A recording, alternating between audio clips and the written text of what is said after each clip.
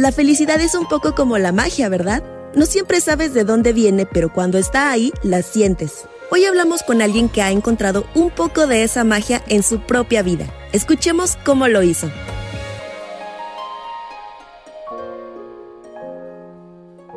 Hola, ¿qué tal? Yo soy Tony Dandrades, presentador del segmento de entretenimiento del programa Primer Impacto de la cadena Univisión. ¡Qué bien! Lo primero que me llega a la mente cuando escucho la palabra felicidad es mi país, República Dominicana. Estar en Santo Domingo con mis amigos del barrio, pasándola bien, sin pensar en el tiempo, en el reloj. Estar en la playa, comer la comida deliciosa de mi país, un buen mangú, un buen morisoñando, pero sobre todo hacer todas esas actividades con mi familia. ¿Qué me hace feliz en este momento? Tener salud, porque sin salud no hay nada. ¿Cuál es el momento más feliz de mi día? Yo creo que cuando despierto y me tomo la primera taza de café, con la taza oficial de que bien, por supuesto, ¿no? Y luego cuando veo a mis hijos despertarse con salud, a mi esposa, eso me hace muy feliz.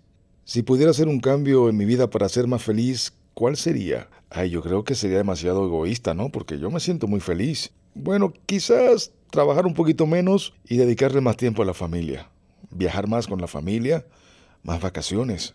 Con el tiempo el concepto de felicidad ha cambiado un poco. Quizá cuando era niño apreciaba cosas más simples, ahora a la edad que tengo, la felicidad la provocan otras emociones, quizás más personales. Al que está buscando felicidad yo le aconsejo que no le dé mente a nada que disfrute cada momento porque cada experiencia, negativa o positiva, tiene un propósito en la vida. Y nada es para siempre, así que hay que aprovechar cada segundo que tenemos vivos y ser feliz, no hay de otra. Algo que hago frecuentemente para ser feliz es ver stand-up comedy. Me encanta meterme en Netflix y ver comediantes hispanos. Ahí paso un rato largo riéndome muchísimo. No es una terapia muy bonita.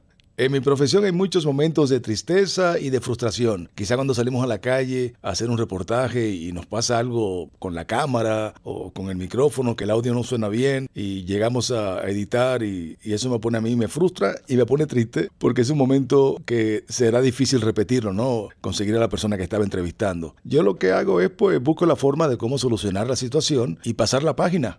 Yo he tenido varios momentos en los que he sentido la sensación total de lo que es la felicidad. Y esos momentos fueron cuando nacieron mis hijos. Tengo cuatro hijos. Estar ahí presente, ¿no? Verlo salir a la vida. Son momentos inolvidables en los que la felicidad me ha invadido de los pies a la cabeza. Para mí el secreto para ser feliz es sonreír. No importa cuán difícil sea la situación, sonríe. Una sonrisa puede ser la solución para cualquier problema. ¡Qué bien! Gracias por escuchar esta píldora. Seguimos en un próximo episodio. Sigue creyendo en el extraordinario poder de la felicidad.